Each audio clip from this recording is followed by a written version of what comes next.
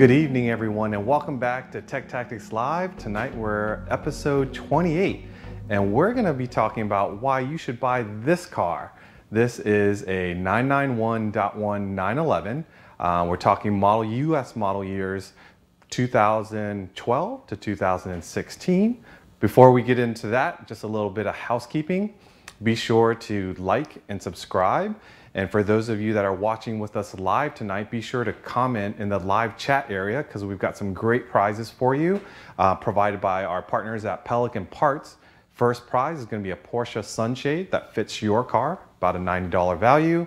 Then we've got um, Esco heavy duty jack stands that you can choose uh, whichever style you like for your Porsche. And we'll be giving those away, uh, a pair of those, to, uh, to the second winner. Um, Let's see, we want to thank Pirelli, our sponsors of Tech Tactics Live. So be sure if you ever see them out at events, thank them for supporting the show. Without them, we couldn't do it. We're on the 28th episode and we've got some some folks back on. In fact, our first guest, uh, fourth time and uh, favorite of ours on Tech Tactics Live. That's Nathan Merz, PCA Tech Committee member, but also owner of Columbia Valley Luxury Cars. And then my favorite editor, second time on Tech Tactics Live, Rob Sass, editor of Porsche Panorama. You, you see what I, what I did there, right? Um, yeah. And tonight's car, we have this beautiful 2013 um, 991 and uh, brought to us by uh, local PCA Chesapeake region member John Lewis. John, thank you so much uh, for bringing the car. Um, let's let's kind of hit on the agenda real quick, if you don't mind, so you guys know what we're going to be talking about. What's it like to live with a 991? Why to choose a 991 over a 997? What Chris Harris, for those of you that know who Chris Harris is, uh, picked for a 991. What can go wrong? Uh, we checked in with Peter Smith, our favorite Goldmeister tech, and he gave us some uh, intel on the 991. Uh, we, are going to take a little walk around uh, this cabriolet, and maybe uh, Nathan and Rob can share with us some experience they have with um, looking at a car like this. And uh, we're going to look at options that you might want to consider and some that you might want to avoid. And then we're going to wrap up the show with special edition 991s, which there aren't that many, but there are definitely some worthy of uh, taking note. So it's hard to believe that 991's really been around for just about a decade. Um, and I'll, I'll just throw it over to John. Now, John was smart. He didn't wait till 2020 to go looking for his 991 because those of you that have been looking for a 991.1 probably have noticed the market is pretty tight for these cars. Um, John, I'm just going to walk over so we can hang out. Um, you bought this in 2016 as a CPO car. Correct. So, what made you decide on the 991? What, what kind of sports car were you in prior to this car? So, my wife and I had a 5 Series, uh, okay. four door. Um, we enjoyed it, uh, but it was getting a little old. And we were driving down the road one day and we saw a 911. And uh, I told my wife, I said, I've always wanted a 911. And uh, she said, uh, well, let's, let's start looking around and see, see what's available. Now, did you plan on 997 versus 991? Like, did you know the decade or the model style? No, really didn't. We just wanted to find something that was a nice balance of uh, availability. And she said there were two rules. It had to be a convertible and it had to be an automatic. Okay. So this car is a PDK version. Car. It is. Okay, so you bought it. It's a 2000. It's a 2013. You bought it in 2016. So I assume that the car was a certified pre-owned CPO car. It was. It had original uh, warranty that was still good, but we decided to add on additional warranties for an eight-year total uh, warranty coverage. And and that's smart. I think uh, CPO is probably one of the best ways to buy a Porsche because someone else has taken the depreciation hit. Most Porsche owners have taken care of their car, mm-hmm. and the warranty is very good with just the standard CPO. But then when you have the uh, option to extend it even further, then you have that peace of mind because these are pretty complex vehicles and and should something happen let's say the PDK or the infotainment system it's nice to have that sort of security blanket right it is Unfortunately, we haven't needed to use it at all. uh, which is a good After thing. I said all of that, after I said about CPO. Ah, okay, well, it's just like the car. snowblower, right? You, you bring out the Right. snowblower, sure. and if you bring it out, you, you won't need it. But if you don't, then something happens. So it's just, it's, it's like insurance. Peace of mind. Peace of mind, exactly. Absolutely. Well, thank you so much for bringing the car. We're going to jump over to Nathan and Rob and, and get on with the show here. So 991 over 997. You know, this car's been around about a decade. I think, if I remember correctly, what was really unique about the 991 coming out was it was a rare, a rare, I guess, technological feat when they made the metals and the composites and all that stuff for this mm-hmm. car. The next generation car was lighter than the than the 997. Am I correct with that? I think it was about 100 pounds heavier. And I think the surprise was, you know, it grew in size. Like the wheelbase is like two and a half inches uh, longer. It's wider. Um, and it appears to be a larger car just to a casual observer. But I think that through the use of high strength steel and aluminum, they kept the weight, you know, pretty close to, to what the 997 was. Yeah, it's like it stayed around 3,000 pounds or so.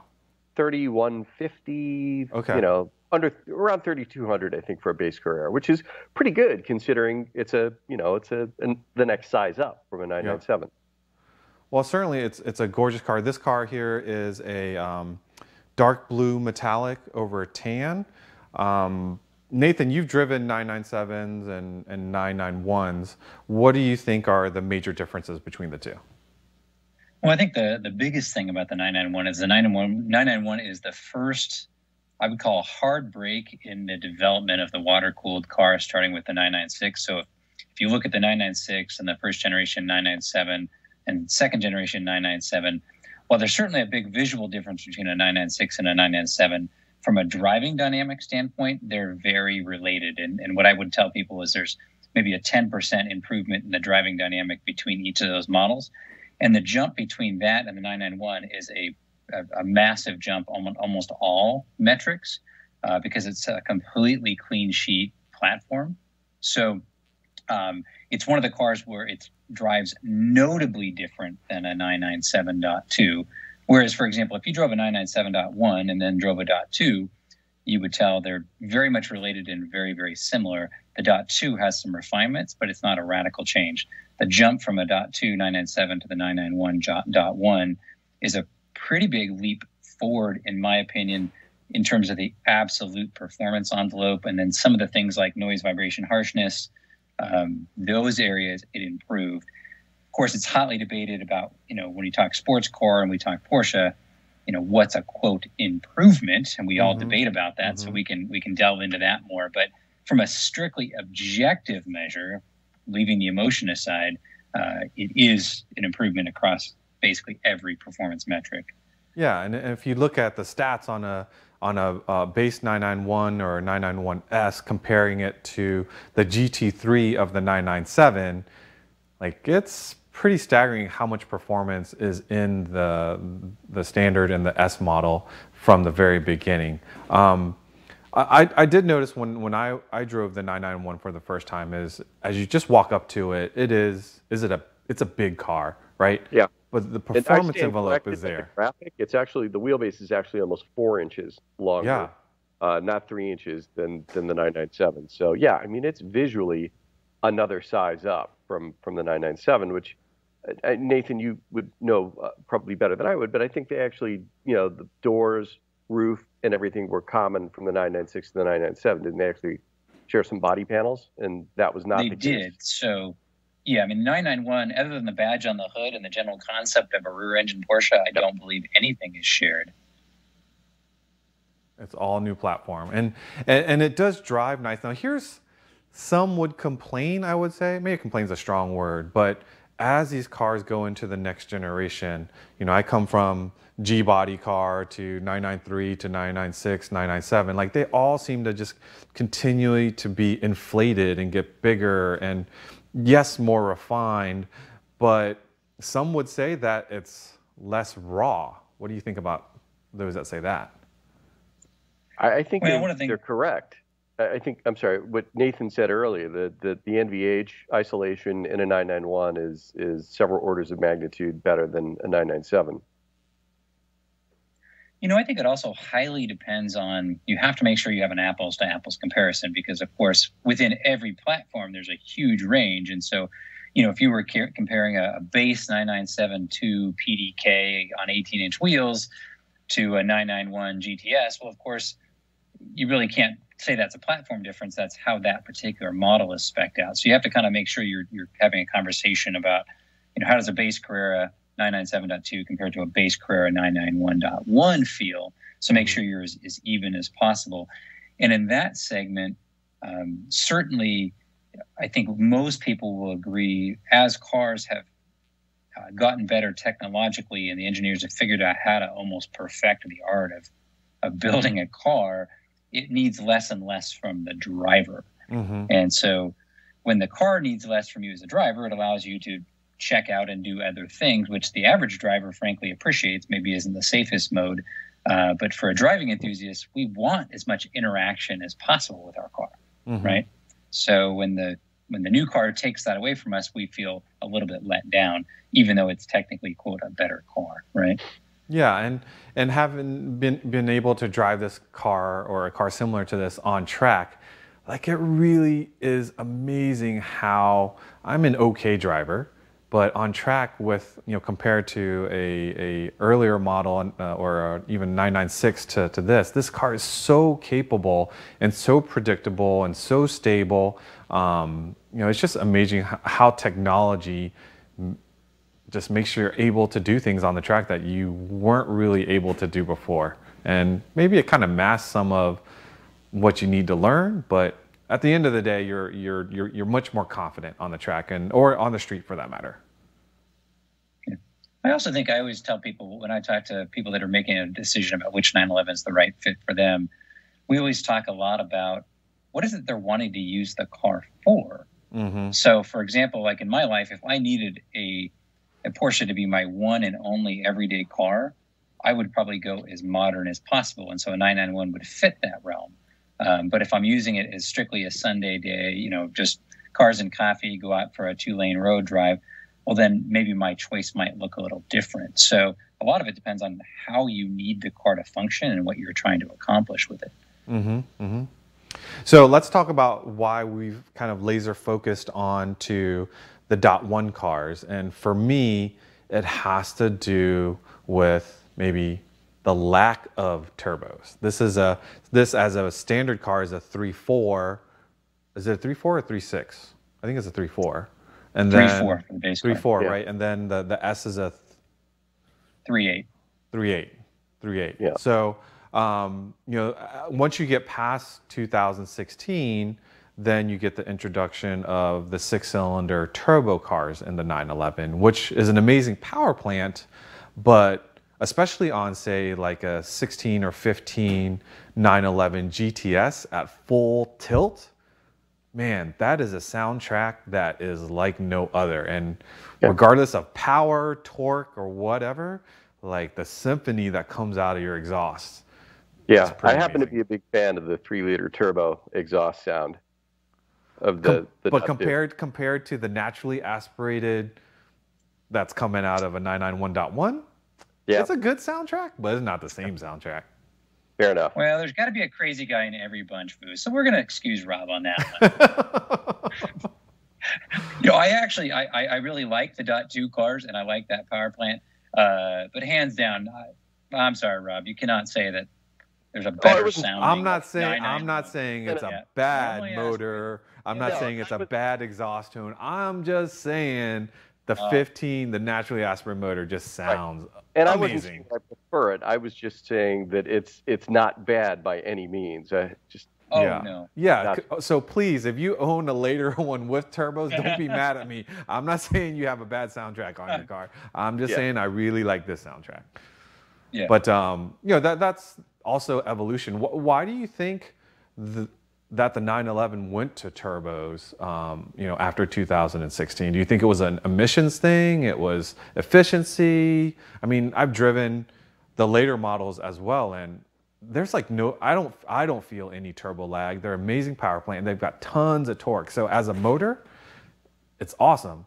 Um, but why do you think they kind of went into turbo? So now even a, a standard standard 911 and a 911S, although they are not they are all turbos, but they're not called turbos, right? So it's kind of yeah. the whole crazy naming thing. Why do you think they went to turbos?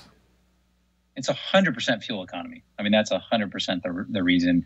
Um, I mean, even the challenge for you is name a late model German car right now that is not turbocharged. It's yeah. the rare German model. You know, whether you're starting with Volkswagen product, Audi product, Mercedes Benz, BMW, almost across the board, they've all gone small displacement and turbo. I mean, yeah. one of the challenges you think about a manufacturer like Porsche has that's unique versus, say, someone like Toyota is that to get corporate average fuel economy up, you can't do that by selling a Prius, right? Yeah. Porsche doesn't have a mileage model, right. right? So they have to get their, their corporate average to a reasonable number across the spectrum of all the cars they sell. So, I mean, it sort of forces their hand to do things like the turbocharged 991.2 yeah. and the 718 four cylinder cars, which for the record, I think are great too. So, yeah. Um, I don't have a beef with it.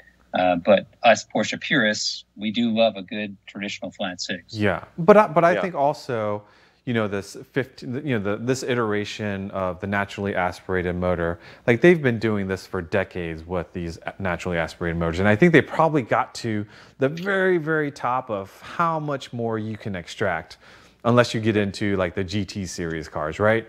So you introduce turbos, and then all of a sudden you have at least the same amount of power. But what I do love about the new turbo power plants is that they can turn the wick up on those motors with like software changes and they can change the personalities of the car and they can tone things down when you need to, you know, when you're regulated by, you know, emissions and stuff like that. So I think the power plant has a lot more flexibility, but also probably packs more punch. Yeah. And to Nathan's point earlier, they did get the efficiency part down. I mean, not that this is what we drive our cars for, but I think it's possible to see 30 miles to the gallon or even slightly more on the highway in a in a uh, 991.2. Yeah. Yeah. I think the other thing, Boo, is, is if you think about it, as the whole market of other cars, non Porsche, has gone turbocharged, the advantage of a small displacement turbocharged motor is low end torque. And so people that you know they're coming out of a 3 Series BMW or an Audi A4, A6. They're used to that feel that low uh, RPM sort of shove you get with a mm-hmm. turbocharged mm-hmm. motor. Mm-hmm. And so, for example, if you take a 991.1 base car, particularly with a seven speed manual, that is not a particularly torquey car with that 3.4. And so it's very much a rev car, which I love and appreciate because that's my heritage. I come from rev cars. Mm-hmm. But the average consumer today they're not coming from rev cars. And so, you know, a 991 base doesn't get particularly interesting until you hit north of 4,000 RPM, which is a fun place to spend some time because it sounds so darn good. Uh, but if you if you're driving, for example, a, a, manual one and down the freeway at 2,000 RPM and you want to squirt in traffic, if you stomp the loud pedal and don't drop three gears, the car's right. not going anywhere particularly quickly. Mm-hmm. And so, for some consumers, they'll say, "Oh man, this car doesn't feel as fast, you know, as I thought it might." Um, Whereas like the PDK will mask some of that because the PDK, if you stomp on the loud pedal, it'll drop three gears instantaneously, right, and put the car right in its power band. Yeah. So um, I would argue that a 991.1 for most consumers will feel uh, adequately powerful in a PDK, but mm-hmm. for the average person who I hate to say it, shifts at 3,000 or 3,500 RPM, the manual transmission car will feel a little bit sluggish. It's absolutely not. They're mm-hmm. just driving it wrong. They're just driving it wrong. Yeah. So, so let's. You mentioned a little bit about the market. Um, you know, John, like I said earlier, he bought it in 2016, and they were quite plentiful back then. Um, let's talk about today's market on these 991.1s. Are is this the next great buy? Ooh, Rob? that's a good question. Uh, yeah. Rob can give you your opinion on if it's a great buy or not. Uh, I think so. I mean, a couple, about a month and a half ago, I, I wrote an article talking about that and at that time, it was still possible to find, you know, like a 2012 or 2013 PDK cab with some miles on it for under $50,000. And I'm just not seeing those cars anymore. It seems like the absolute rock bottom now is, at least the asking prices, is somewhere in the low 50s. So I think the word's gotten out, um, and you know, I think that strangely enough, the the delta between um, certain 997 models and and 991s had gotten small enough that, that people were saying, "Hey, what's going on? These cars really look like strong buys right now." So, um, seems like the word's out. Know, Nathan, what are your thoughts? Well, I mean, there's there's a couple things at play. Um, the biggest thing right now in the Porsche market is really just the overall car market. They came out with inflation numbers today yeah. that basically said the overall used car market year over year is up 21%. So that's wow. whether we're talking Honda, Toyota, Ford. Just yeah. cars so in general. That's cars in general, wow. right? So uh, it has made things crazy. I mean, there's things where, for example, you know, people are paying, you know, MSRP for three-year-old Toyota Tundras. I mean, so so the market is, overall is, is, very strange right now. So we we have yeah. to keep that in mind. I think what happens, these cars are actually following the traditional trajectory that I've seen over the last 30 years with Porsche, which is kind of the following. There, there's a certain segment of our population that they're simply new car buyers, right? Mm-hmm. And we love those people because they allow us value buyers to come in, right? So those people, they aren't going to look for a 991.1. They're going to buy a new 992. They're going to pick it up, and that's going to be our used car of the future. And then there's a the next person in line is kind of the value buyer, right? The person that they have to get below a certain number before they jump into the market. Um, and so those value buyers are either buying CPO 992s or 991.2. Um, and then your more entry level late model buyers are the ones looking at uh, 991s. Uh, they used to be looking at 997s, but they've kind of moved out of 997s for a couple reasons. One, there's a lot of scares about 997.1 and bore scoring and IMS. There's that. There's a lot of demand for .2 997s, and there's very little inventory because of the economy at that time. So mm-hmm. that's sort of this perfect storm. It's pushing those buyers into the 991.1. Um, and you're also pushing getting the value buyers that are saying, hey, I want to have a 911 experience. I want it late model enough. I'm not having a lot of problems with it. So there, that the perfect sort of Goldilocks car is an early 991. Um, yeah. And they're not old enough yet to be you know, classic or collectible per se, which we're just starting to see now. For example, on the 996s are kind of hitting their stride mm-hmm. as viewed as a classic, which is seems odd to say, but it's well, they entered the so, Porsche Classic portfolio as a classic officially yeah. back in AG. Yeah. So yeah. Um, yeah. So what what do you think the price range is today for for 991.1s?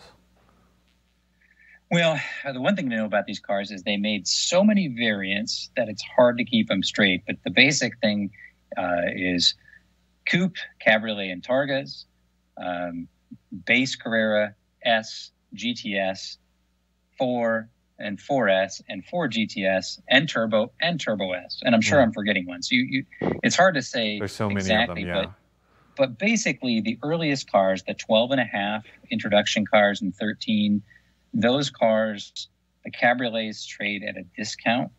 Um, although interestingly enough, they the cabriolets do not trade at as big of a discount as 997s or 996s. That was going to be my question for you. Yeah, and here's exactly why. The 991. Here's one I will absolutely give my kudos to Porsche. The convertible top, and I am an avowed non-convertible guy. The convertible top on a 991 is flat, dead, sexy. Um, it's got aluminum skinned panels underneath the fabric. It's aluminum skin. And so I wish we had this top up and you could see the profile on this car mirrors that of a coupe. Um, yeah. And it's rigid and it just looks amazing and it stows nice. So I we think we can make that happen. Let me just while while you're talking about that, we'll get someone to put the top up. John, can you come out and put the top up? Sorry, keep um, going um, so while he does that. Don't suffer the same uh, hit that they did, particularly like air cooled cabriolets, I think suffer a big hit because they're such an aesthetic derivation from the coupe, um, whereas the 991 follows the same silhouette. So that's my opinion. Of course, it's worth what you're paying for it, but I think that does hold true. There we go. Easy peasy. Yep. Yeah, so if you notice when this top is actually fully stowed, you cannot see the roof bows because they're not the traditional roof bows. See how flat that roof panel is, and it yeah. and it comes back and it it just maintains such a great silhouette on the car. Absolutely. Uh, that rear yeah. window is like you're flat in the back. It's very well executed. All right, John, you can throw it back for us. Thank you. and it's so easy to use. And I believe this, um, you can put it back down if you want, John. Um, I believe you can even put these while you're moving a certain mile an hour, right? That you can open the top, like up to 35 miles an hour. Nice. Yeah. So when you roll at the stop sign and it's, you know, starts raining, you throw it up, or if it sunshine opens up at a stoplight, you can throw it down real quickly. So definitely yeah. a nice usable cabriolet. Nathan, what about the split between PDK and manual with 991.2s? Um, uh, it seems like the take rate for manuals just absolutely plummeted with uh, with the 991. Um, you know, just anecdotally, it seems like the mix for 997 was probably you know 40% manual, 60% um, uh, obviously uh, Tiptronic for the dot ones and PDK for the dot twos. But it seems like it's maybe 10 or 15 percent manual with 991s. Um, what are what are your thoughts on on that in terms of, of value? Yeah, I think you're about right. Obviously, the take rate on Tiptronics and the dot one was fairly low because that tra- that transmission is limited. But the PDK was so universally accepted, both in the popular press, the enthusiast yeah. press, and among the buyers, that the take rate was was great. And by the time the 991 came out, it had been on the ground for four years, and people were very comfortable with that choice. So I would actually argue the take rate on 991.1, uh, particularly just the regular models, is likely somewhere in the 80 to 85 percent range. Yeah. yeah. I think that there's a couple reasons for that. I mean, one, the overall car market has moved. You know, 98% of new cars sold uh, only have two pedals. So I think that's a reflection of that. But frankly, the PDK is such an unbelievably great transmission. Yeah. Um, and I am an avowed three pedal guy. I was actually mm-hmm. trying to think if I own a two pedal Porsche, and I, I guess I have a Cayenne. I guess that counts, right? Yeah. Um, but I will say the 991 seven speed cars are the least compelling of the 911 manual cars to me because the seven speed is just a little janky with how it shifts. In my in my view, it's actually the same transmission as a PDK. Um, and the layout of the rising central console to me doesn't fall to hand as naturally as the more traditional console of the earlier cars. Um, and then you couple that with a smaller displacement, particularly in the base car. So for me, if I was going to have a base 991.1, it would be a PDK. So, so I picked up on something that you said there. The manual transmission in a 991.1 is it? It's not like the manual that's in, say, the 992. Like the the transmission is still a PDK transmission, but you're shifting it manually? Like how, what? I don't fully understand there. Yeah, so I mean, basically, it, believe it or not, like if you, for example, buy a, I guess the only nine. Uh, let me think about this. If this is true, make sure I make my statement right. The only 991.1 that actually got a true uh, six-speed manual was the 911R. Uh, okay. The other one, yes, uses basically the same gearbox as the PDK, all right? So the same gear ratios and all that. Um, so because you add that extra um, kind of gate to get over to 7th mm-hmm. I just find them kind of clunky in use. I mean, not mm-hmm. terribly so. I'm probably splitting hairs. I mean, it's still right. a Porsche. It's amazing. But um, if you, for example, I much prefer to drive a 981 six-speed manual than a 9, which would, of course, be the Boxster came in, mm-hmm. than a 991 seven-speed manual car. Um, gotcha. Sometimes having more gears isn't better, believe it yeah. or not. Yeah. So I think we've got some winners uh, for the raffle. So thank you for um, putting your name and where you're from. Let's see the, who the winners are. Robert.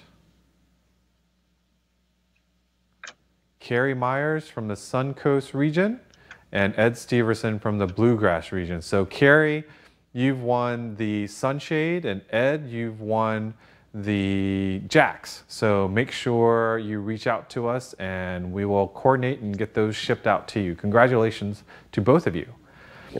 Let's talk about uh, one of our favorite Porsche celebrities, uh, and you've probably watched him drift a few cars around the circuit, Porsches more specifically, and that's Chris Harris.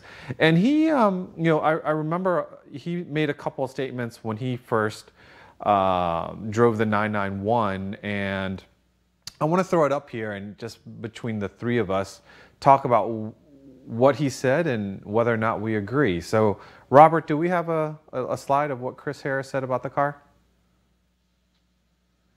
Okay, so his choice. Uh, let's see. So this is Walter Röhrl's choice, and is this what Chris Harris said? I'm just making sure.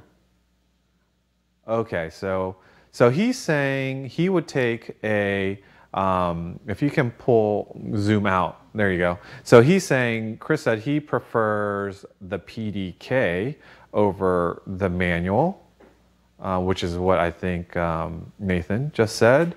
And then he would say he would always, um, let's see, suggest that the two wheel drive car moves around a bit more and is more fun versus the four wheel drive version. And he also always says the bigger engine.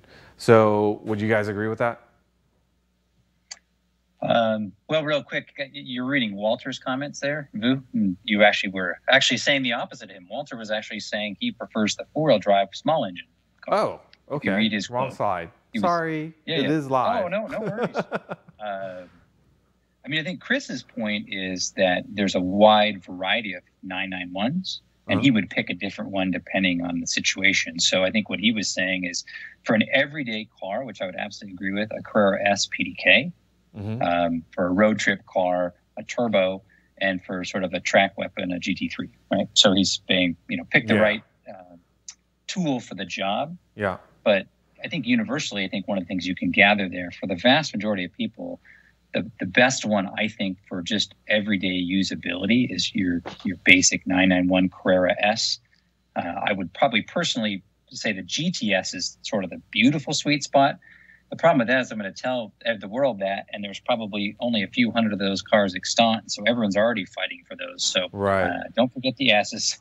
98% is great. So yeah. Uh, yeah, I mean, I guess if I were to choose, uh, you know, having having just been, I guess my cars are.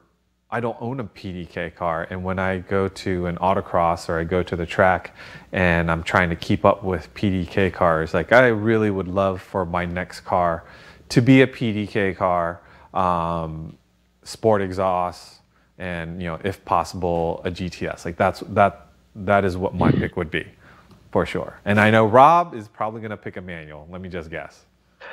Honestly, I'm not. I mean, I was really what? tempted to Who say. Who are you? Race Carrera manual, but I've got to. I love the GTSs, but I've I've got to go with what Nathan, Nathan said uh, earlier. Is is an SPDK? I mean, is uh-huh. it is your one and only car? Is it is it daily? It's it's close to perfect. It's it's really good. Um, you know, one thing that we didn't mention with the wheelbase stretch is those back seats get a little bit more usable. Um, you know, if you have kids, um, you know, they, they really are usable almost, you know, into, you know, teen years, unless, you know, unless your kids are really big. Yep. Yeah. For the record, I think Rob only about five seven, so I think his kids might be his kids. his kids. wow. There's no danger of kids being live on the show. We crush on Rob. Um, all right, so so let's talk about what can go wrong with these cars? Uh, we reached out to Peter Smith, our go, uh, our go-to Goldmeister tech out of California, and he gave us a, a um, basically he says these things are built like you know, they're they're fantastic. Um, there's there's minor things um, and kind of everyday things that could possibly go wrong with them, and so I'm just going to run through the list, and you guys um, chime in, but water pump yeah, leakage. I mean, that's you know a ten-year-old car, five-year-old car. Water pump is a water pump. That's that's not shocking. Uh, deck lid shocks. I don't know why, but but deck lid shocks on most Porsches for some reason don't last very long. Um, here's here's one. The rear spoiler wiring harness can go bad. Um, that's probably not too terrible of a fix, but I didn't realize that that yeah, but the next one is a deal breaker. The windshield washer is failing. I mean, so I'll sh- I'll show you guys. Let me let me do this. This is a cool plenty feature. Plenty of cars running around on salvage titles. Oh, yeah. Failed windshield washer. Windshield washer hoses. So did you guys know this? And don't make fun of me because I just learned to this. So if I'm going to open the the the frunk of this car on my 996 I'd use the key fob or I would go to the door. What would you guys do? Nathan, what would you do? How do, how do you open this? On a 991? Yeah. Uh, it would depend, I guess, whether I was getting out of the car or whether I was uh, walking up to the car. So, so, you don't know either. That's what you're saying. I don't know. Rob, yeah, what are you I, saying? How would you open this frunk? If I'm sitting in it, I'm going to reach with my left hand down to the little switch on the sill and pull Both it. of you don't know what you're talking about. So it's not only me. Check this out. Who knew? I'm just going to go Magic Genie. What? I, oh, the I gesture control. Did you know about that? I did not know about that. That's like totally opening cool. a Ford Explorer tailgate. I know. Uh, it's a Ford Explorer option that I'm gushing over. That's pretty silly.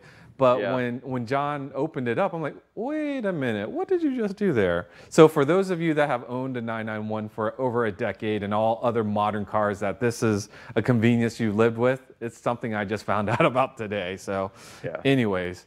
Um, but I mean, you um, can still open it the conventional way. yes, you can. But that's not, which that's I not nearly as cool. That's not nearly as cool. I will never use those buttons and I'll never use my key fob. I will always do that because that is way cooler. The, the, the gesture, yeah, I don't know. But I think, if I'm not mistaken, that's one of the few carryover pieces from a 997 is that little switch on the sill yeah. that opens the, the trunk. All right, so uh, the reason why I opened this hood is um, to show you where I think these are. Oh, and guess what, John? Your windshield washer hoses are also broken or disconnected. So we'll oh. let the owner know. So they are connected Better right take it back to Porsche for a CPO warranty repair. CPO warranty. You said your car's under warranty, right, John? I think you need as to long get as long as you're in there, Vu, can you check the drains? I should. So see, this one here is connected. Oh no, that's like the wiring harness or some sort. That doesn't look like the hose, but whatever that is, that's not cracked. So anyways, just back to the list. That was one of the things that uh, silly things that can go wrong on the 991. Um, very few PDK failures. It's a, it's an awesome transmission, you know, from the performance side, but you know, after a decade, from longevity and durability, looks like PDKs are are also uh, very stout. What do you guys think about that? I'm going to disagree slightly with that, Vu. I, I think historically they have been very reliable. Mm-hmm. Uh, but now we're just starting to get into that realm that, you know, the very first PDK cars were 2009, of course, 997.2s and, and 987s. Um, and just now that these cars are getting to be 10, 12, 14 years old, we're starting to see cars with, you know, 80, 90, 100, 120,000 miles. I'm starting to see sort of my first realm of failures.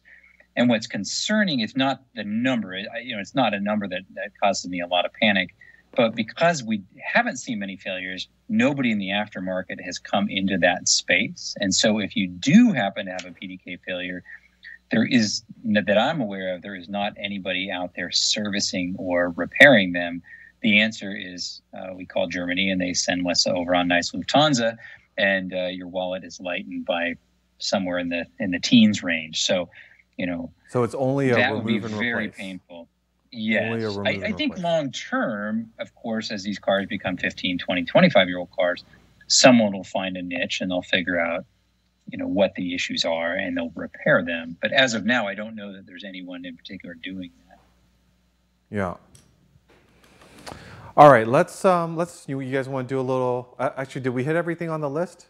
Oh, um, we talked about. Oh, we talked about cars that um, do track events. Uh, 991.1s uh, they can kick up some gravel into the radiator fans up front and um, it can cause the actual fins of the fans to deteriorate and then that can be a problem. But I mean, well, interestingly, Vu, I yeah? just did this repair in my shop this week and I Did you really?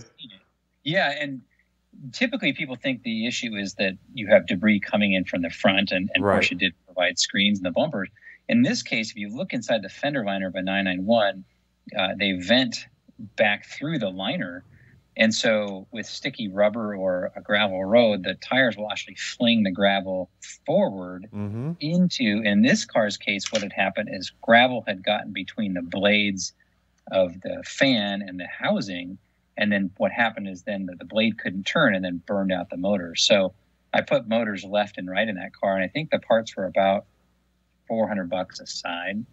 So Ooh, okay. job itself wasn't huge, but with labor and parts, yeah. you know, it was somewhere twelve or thirteen hundred dollars to replace both of them. So was the bumper cover easy to take off like a, a 996, 997? Pretty really simple? easy. Real easy, like six, six, six bolts or whatever. They're designed All right.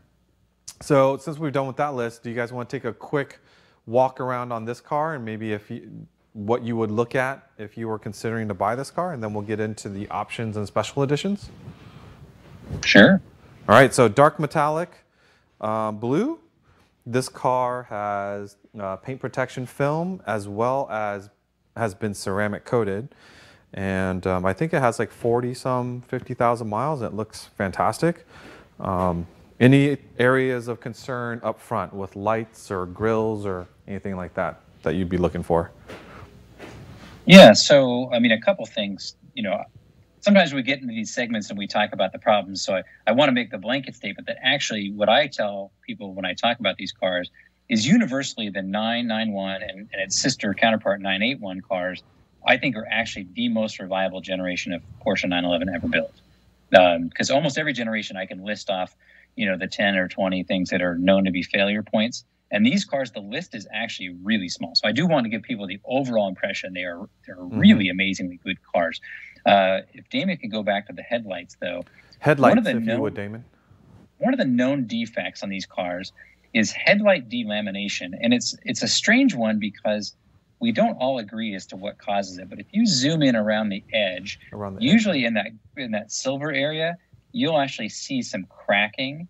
Oh, like around uh, here? This car looks yeah, this mm-hmm. car looks amazingly good, but you'll yeah. see like these little micro cracks, and mm. they start as like a, a, they look almost like a relief cut at 1st mm-hmm. and they'll start cracking around the edge, um, and then they'll get this really mottled appearance to it, and there doesn't seem to be rhyme or reason about the failure. Some people think it was impact, but it doesn't seem to be impact. It doesn't seem to be related to treatment because I've seen it on Garage clean cars and I've seen it on, um, you know, kind of ratty drivers. Mm-hmm. I've seen it on cars that have clear film and don't. You know, some people said, "Oh, the clear film trapped the heat, and that caused the problem." But I've seen it in both scenarios. There's a lot of debate about it. If you caught it early enough, Porsche would have covered it under warranty. Mm-hmm. Unfortunately, now most of these cars are now out of out warranty. of warranty. Yeah. Well, this one's in good so, shape, so lucky yeah, for John. So it's, it's lucky. Yeah. But yeah, look for that. Inspect the headlights really closely, and there is no aftermarket answer that I think is acceptable. So you're stuck replacing the entire housings for a couple thousand bucks a piece. Yeah, yeah. yeah. Now talk yep. about. Uh, oh, go ahead, Robert. Oh no, I agree with Nathan. I think these cars are insanely well built. You know, all the little minor things that might happen with a 997 or even a 996, like headlight switches, ignition switches. Um, you know, even the trim items on the you know on the, the lighter interiors where they get nicked up around the ignition switch and the window switches and things like that I just I, I don't see those with 991s. Uh, they just mm-hmm. seem to hold up really really well. I'm standing in front of the front wheels and brakes. Um, wheel, tire, brake combo. Any thoughts on those for a 991? Here is standard brakes. And the S would have had bigger brakes, and then you have the potential ceramic brakes, right? Correct. All right. Then we move into the interior. Oh, so this color combination, um, it's a handsome car, dark blue over tan. What really jumps out at me, this is a fairly light color tan, and I believe, maybe one of you know the details of it, but I believe Porsche had a campaign that because the dash was so light, reflection, there was glare in the glass, and they actually gave people, I think, they covered if you like I don't know, sunglasses or would spend up to two hundred fifty dollars to send you a pair of polarized sunglasses, which mm-hmm, mm-hmm. again is kind of comical. Kind of funny, so but in forty years from now, at some Concours event, some judge will say, "Well, do you have your Porsche authorized polarized sunglasses?" yeah, yeah, and they they will be worth five hundred dollars. So yes. yeah, the class action lawyers, I'm sure, made out like bandits, and yes. the plaintiffs got. But I remember stuff. reading that and going, "Huh." I guess that's one way to solve it is issue people sunglasses. Um, the interior of yeah. this car is just incredibly handsome. This has uh, the ventilated seats, so heating and cooling. Um, you know, probably one of the greatest things to, to have in a cab. And then the light color interior, it, it, you're right, Rob. This car, you know, as far as wear and tear, it's it's in amazing shape. Yeah, it really is. Now, hey, Nathan, is it my imagination or did colors get a little bit more sedate from the 997 to the 991 era? I mean, it just seems like, um, you know, some of the, uh, I mean, I guess you get lava orange in a in a 991, but it, it just seems like it, you know, the pendulum swung back to, you know, a lot of gray, silvers, blacks, whites. This car is is unusual. I think absolutely gorgeous uh, in in its colors, but it just seems like. Um, you know, 991, 991 colors got a bit more conservative. Yeah. You know, it's interesting because 997.1 was pretty conservative. And then in dot two, they came out with a little bit crazier couple colors like yeah, the the blue and malachite racing green, racing green. Yeah. Yeah. yeah. Uh, and then I with mean, the 991.1, they were pretty conservative. I mean, really, the only color I think that's kind of out there is the lime gold metallic. Lime gold. Yeah, mm-hmm. I mean, cognac is not exactly a you know a, a, crazy bright color, but it's really handsome and it's yeah, kind it's of odd, unusual. It stands out when you see it. Yeah. Um, but yeah, it's just something that that uh, I, I, noticed. So, so David, you're focused on something we want to we want to talk about. Mm-hmm. Look at the top of the door panel for a second. Like look at the top of the door from panel. the outside of the car. Top of the door panel from the outside, you said. Yeah, kind of get eye level with it eye level with the t- uh, top of the, the door panel. Okay, so uh-huh. see how that dot panel, you can just start to see it on this car. See how it's pulling away there? Oh, see that yeah. gap? That gap, yeah. So that's one of the other known issues with these cars, and it only affects the cars, or primarily affects the cars that um, have partial leather. So this is one good reason to have a full leather car. But see how it's pulling out of there? Mm-hmm. What happens is the glue that Porsche used was some sort of um, EU approved. We don't harm, you know, native biodegradable glue, and yeah. it does pull up, and so the the panel starts to the material pull pulls away from the actual oh, panel. Yeah, right here. Yeah. This looked pretty good. This is pretty um, good, but you can see that it is pulling away a little bit. John's going to regret bringing his car here because I, I pointed out dings to him and I pointed out scratches and now I'm pointing out panels that are pulling apart. I'm sorry, John. I didn't mean to do this to you. So we're, we're, we're looking at the interior, and I see the Sport Chrono and the Sport Plus button, and I think we have to kind of address that because there is this thing called uh, a stop sale with vehicles um, at dealerships where they can't sell uh, these cars that have the Sport Plus. And so I guess um, what I know about it is if you own, John, you own this car as an owner, enjoy it. It means nothing to you. You could sell this car to a dealer, you could sell it to an individual, um, but the regulators, I think, with the hyper focus from all the VW stuff, like the Sport Plus button, um, they're working with the regulators to, I guess, understand what that may or may not change in terms of vehicle emissions. So that's why these vehicles aren't being sold at dealers, but everywhere else they're still being sold. Um, Rob. Yeah. And to clarify, Nathan, they're not being else? sold at Porsche. They're not being sold at Porsche franchise dealers. Franchise dealers, um, yes. And right. that's not because legally they can't. That was Porsche corporate made a decision to hold off on selling those cars until they have the appropriate answer. So, exactly. if anything, what that has done, that's one of the reasons the market's stronger because if you take every franchise Porsche dealer in North America and not allow them to sell any 991 with a PDK, mm-hmm. frankly, that probably takes out I don't know, 70 plus percent of the available inventory. It just leaves oh, private right. parties and right. independent dealers. Yeah. Right. So right. now you have an inventory shortage. So, yeah. And so now you can command a premium. yep. All right. Moving towards the back. Um, I think the really only big decision back here is non non S or S, and depending on what you're using the car for, and uh, maybe your your check checking account, right? Well, and the best thing about a 991, if you like Concours, you don't have to clean your engine because all you open the engine compartment, all you see is a silly fan and a place to add oil. right. The first, yeah, the 997 was the last one where you could actually lift the rear boot and see the complete engine. This one, you lift up and see such as it is. Yeah. yeah. Yeah. All right. So that was the quick walk around. I don't know if there's any questions. I didn't look at my phone. I apologize if you guys are asking stuff on the live chat and I haven't gotten to it. But know that uh, any question that goes unanswered on the live chat area, um, we will go back and pull all those questions and we'll answer them and we will post them. And um, so don't worry about that. Let's talk about options. We do have an options list, right? I think Robert's going to throw it up here. So popular options, okay, uh, PDK or seven-speed manual, sport design steering wheel with paddles, sport chrono, uh, sport exhaust, um, Porsche Active Suspension Management or PASM, and then adjustable seats. Uh, how about you guys? On this list, you check everything, or one thing is a must-have, or or what are your thoughts on these options? Well, it depends on your configuration and your goal. Uh, I mean, a couple things. So, if you order a PDK, in my opinion, you, you absolutely have to have Sport Chrono because it unlocks the better shifting algorithms uh, by using Sport Chrono or Sport and Sport Plus mode. So I think that's mandatory. Whereas in a manual, I think the Sport Chrono is about worthless. So I would, if I had a manual, it'd be non-Sport Chrono.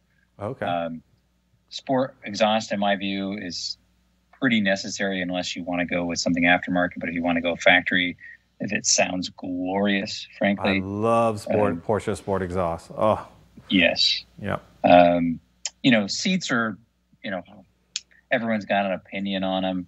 Um, sometimes I think having 18 ways to adjust a car. I mean, the funny thing is I have 18 ways, and uh, I think just maybe in my Cayenne or something, and I can't remember how often I actually adjust them. I literally get it set, and that's it. So you go, you go, you go up, yeah. down, up, yeah. down, and back and forth for your 18 yeah, ways. I mean, but to each their own, right? Yeah. I mean, I think the thing to know with the 991 is it really did usher in the era where Porsche really went over the top. I mean, the option list, I mean, a joke is about 72 pages long. You know, the first you know, three or four pages are, are substantive, and the rest is, you know, leather covered this and deviated stitch that. And, you know, if you're not careful, you could add 60, 70, 80,000 dollars worth of options to one of these cars. So it's mm-hmm. kind of amazing. One, one option that's not on there is uh, ceramic brakes. Would you be a yay or a nay on ceramic brakes? Me personally, I love ceramic brakes, and the reason I love them, it's the stupidest reason, and I would pay for them just for this reason alone. The wheels never get dirty. It's uh. a ah. glorious thing. for a person who's OCD, I mean, Mr. Concours, Mr. Concours. Oh, well, you drive a normal Porsche, you literally pull it out of the garage and you make one stop, you know, and the brakes are back or the that wheels are back. Drives me crazy. Right. Rob, yeah. you would you would opt for the ceramics? Uh, for the same reason, and I'm nowhere near as, as you know as, as OCD as Nathan, but I just literally experienced the same thing today. I mean, I literally did my wheels two days ago, and they're they're black again. Okay. So yeah, being a, cheap as I I am probably notorious for. So if you're buying a 991 that might be, you know, anywhere between five years to 10 years old on ceramics, like, do you want to be the one caught holding the hot the, potato? I don't want to be caught with the hot potato because it's kind of expensive, isn't it? Right. Yeah. It's it's a lot of wheel cleaner that that uh, you'd you'd have to save I'm on. Just, I'm I'm just this. sharing with you the way that I think about it. That's all. I'm not saying yeah. that they're bad, and they definitely are, do stay clean. But it does scare me a little bit if I'm the one having to swap out and put on a new set of ceramics. Does anybody yeah, know what the key the, there the is, in... is? What was that? Ooh. Does anyone know the approximate cost of, of replacing the rotors? I don't know off the top of my head, but we can find out. I, I if I'm yeah. not mistaken, it is like in the ten to fifteen thousand dollar range. We'll use the term eye watering. Uh, yeah, eye watering range. We'll we'll answer that question. PASM and know about the steering wheel is looking really good to me right now. yeah. I, I want the leather covered fuse box. I think that is the single most important option any Porsche yeah. Because when I get in a person's Porsche and they have a vinyl or heaven forbid a plastic fuse box cover, or I a judge raw them one. poorly yeah. as a human being. They're just not good people. right, so and funny. I'm the same way with, with vent vanes. If you know the, the vanes and the vents and the dash are not leather covered, yeah, I, I judge too. Yeah, and what about the um, the power kits and the aero kits for these cars? I don't think that was listed. Like I, I'm an aero kit person. I love, you know, chin spoilers. I love big wings and wide hips and flares. I totally can dig an aero kit. You guys? I love it on a 996. I love it on the 991. I love it on all cars. That's just me. Yeah, I'm mixed. I don't hate. All right, let's talk about special editions. Oh my gosh, we're almost at the end of the episode. So hopefully you all are having fun watching us. I think we're still at 370 some uh, viewers, and uh, we're just hanging out talking about 991s.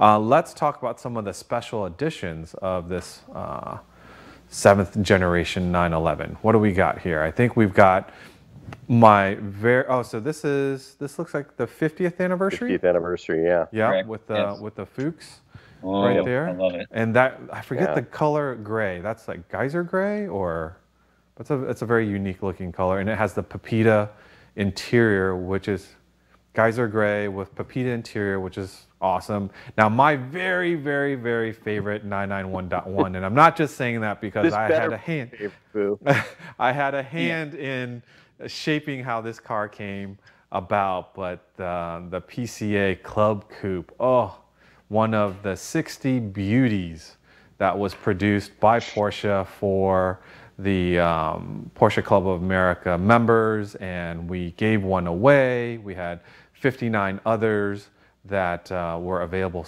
for sale to members. And uh, I don't have you been tracking the the values of these, Nathan, Rob? Uh, you know, they've, they've, held up really well. I mean, they're they're all well into you know kind of six figures, right? Uh, one and a oh, quarter, easily. one and a half. Yeah. Yeah.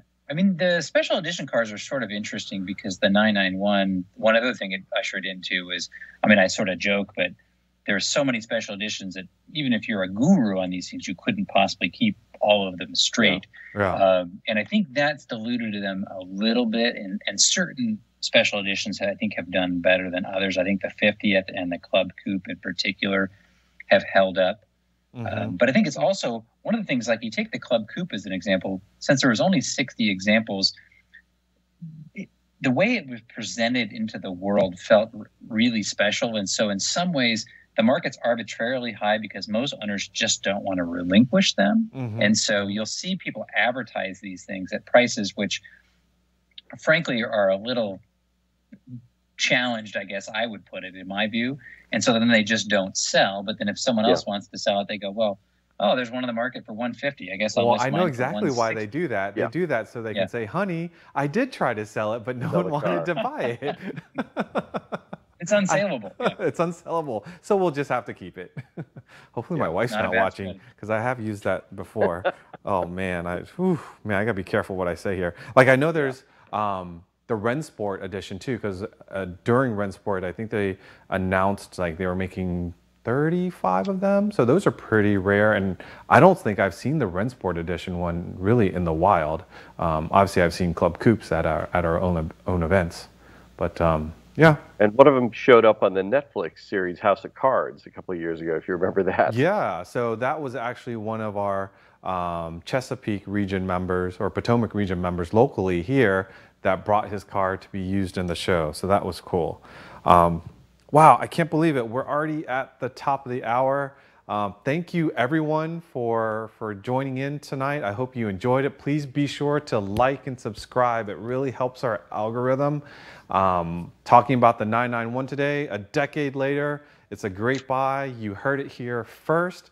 And um, please, if you're enjoying the show, leave a comment and we'll catch you next time. Be safe We'll see you.